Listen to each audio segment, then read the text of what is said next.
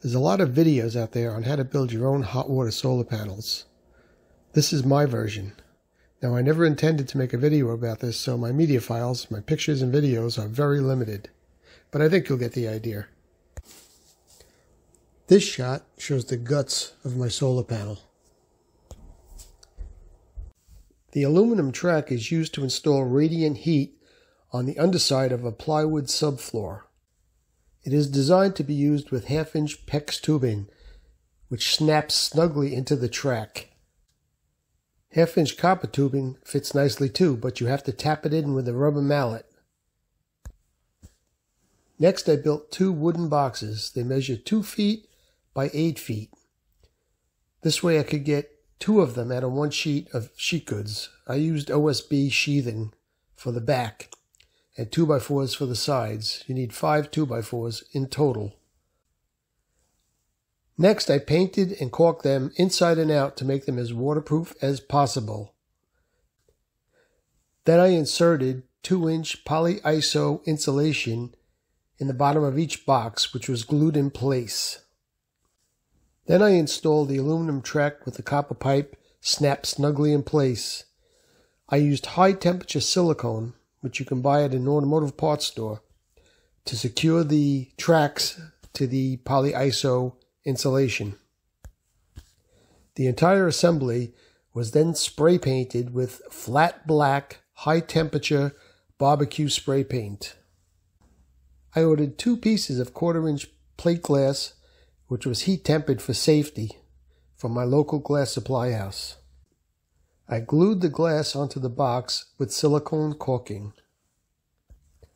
I thought the boxes would be hermetically sealed, but moisture still found its way in and condensed on the glass on cold nights. I see this on a lot of commercial panels also. I mounted the panels on half-inch galvanized plumbing pipe.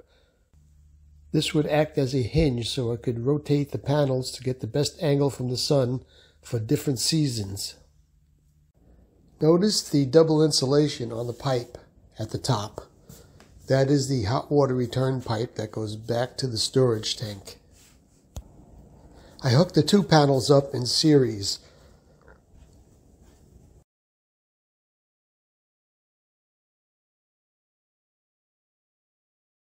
The storage tank is a 60 gallon SuperStor which is a stainless steel tank, and I believe it has a cupro nickel heat exchanger in the bottom.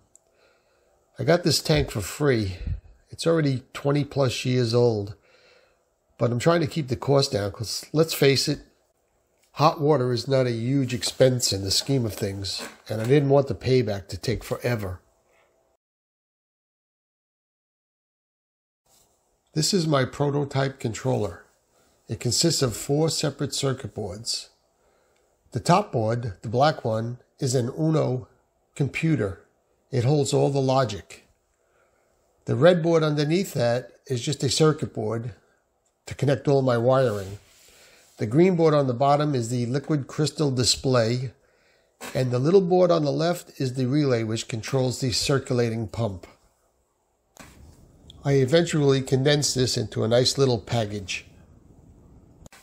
I installed three temperature sensing thermocouplings. One was installed on the bottom of the tank, one was installed on the top of the tank, and ideally the third one would be in one of the solar panels. But I made a huge mistake. Years before I built the solar panels, I was doing a huge landscape job in my yard. That's when I ran the pipes because I knew someday I would get around to building the solar panels. It was poor planning on my part because I forgot to run the wire for the third sensor, and there was no easy way to do it at this point with all the landscaping in the way. So I needed a different method. I installed a photoresistor outside which would sense the brightness of the sun. I installed the third thermocoupling on the inlet pipe coming into the house. Notice the two gold knobs on the left of the controller. The bottom knob controls the brightness of the liquid crystal display. The top knob controls the minimum light setting, which will start the whole process in action. Look at the bottom line on the display. The pot set is the potentiometer setting for the minimum light reading. The reading on the right is what the light sensor is actually sensing. So once it's higher than the pot set, the whole process begins.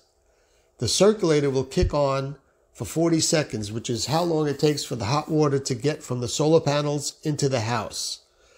At this point, the thermocoupling on the inlet pipe will sense the temperature.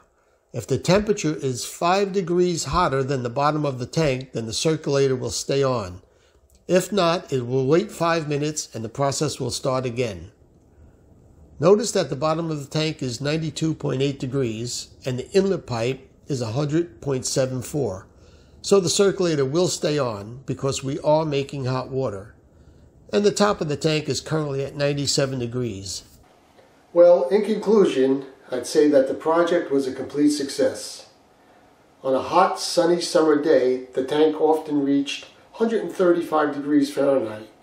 Imagine that, 60 gallons of scalding hot water all for free. Thank you, Ra. And in the winter, on a freezing cold day, if the sun was out, the tank often reached 85 degrees. Not spectacular, but considering it's a preheater for my 40-gallon uh, electric storage tank, I think that's awesome also.